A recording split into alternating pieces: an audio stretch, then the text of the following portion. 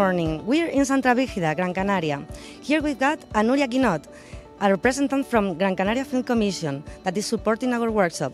Please, Nuria, tell us, what do you think about those workshops?